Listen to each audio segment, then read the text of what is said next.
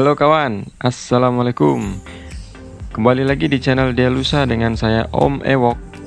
Kali ini saya mau sedikit sharing nih Masih Mio Burik lagi. Uh, Berbagi pengalaman atau review penggunaan kampas ganda Daytona dan mangkok NPP di Mio saya ini. Saya beli kedua part ini berbarengan sekitar hampir satu tahun yang lalu.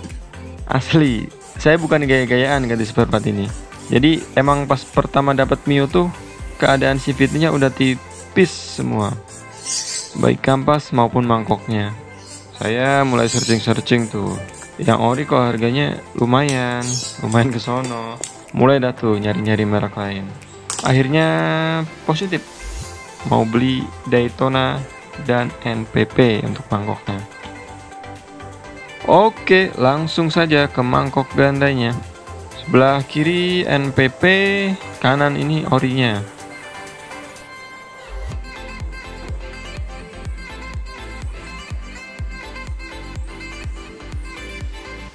Dari fisik kelihatan banget ya bedanya. Bisa dilihat juga nih kenapa saya ganti mangkok. Karena udah terkikis cukup dalam. Kikisannya juga gerenjol-gerenjol nggak rata gitu. Terus ini yang baru NPP. Dalam satu tahun ini bisa dibilang cukup cukup awet. Terkikis sih emang tapi dikit. Dan area geseknya tuh tetap halus. Bisa dilihat juga bedanya nih. Dagingannya ori tuh lebih tebal dari yang NPP makanya kalau ada dana lebih mah yang ori aja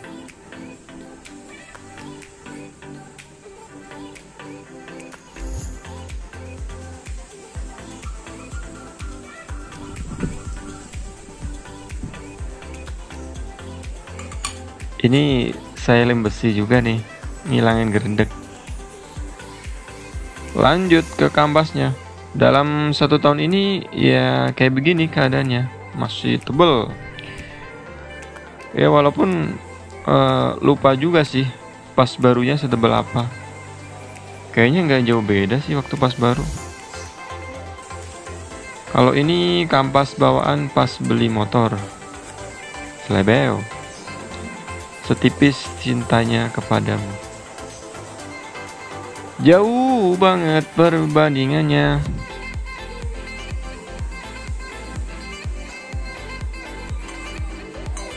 Dan ini uh, saya juga baru ngeh bahwa uh, kampas Daytona ini bisa dilihat area geseknya tuh lebih panjang.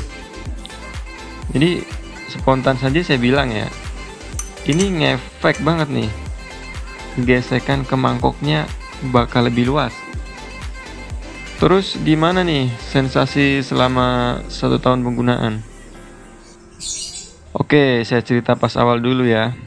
Pas awal baru pasang tuh kaget serius. Lah kok jadi lemot gini motor ya?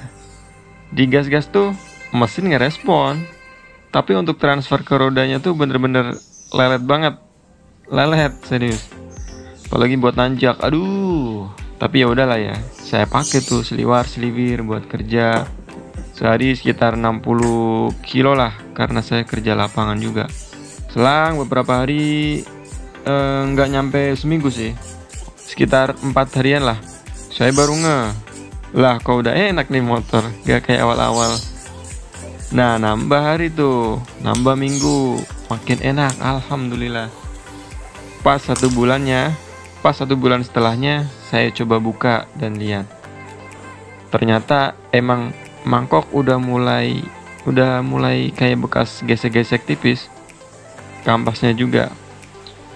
Jadi ini emang butuh adaptasi di awal-awal biar biar uh, biar biar jadi gitu. Kesimpulan dari saya ini keduanya recommended ya.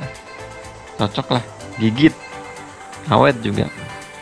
Padahal nih ya motor saya ini keadaan kompresi bocor tipis dari ring seher. Oke guys jadi itu tadi pengalaman saya menggunakan kampas Daytona dan mangkok NPP sekian sharing kita kali ini semoga bermanfaat. Wassalamualaikum. See ya